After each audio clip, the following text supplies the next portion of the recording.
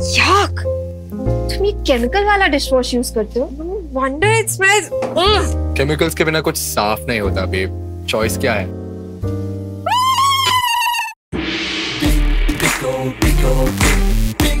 Choice ये है dude Beco natural dish wash liquid powered by natural bio enzymes and orange extracts बर्तन करे साफ़ नेचुरल फ्रेग्रेंस के साथ।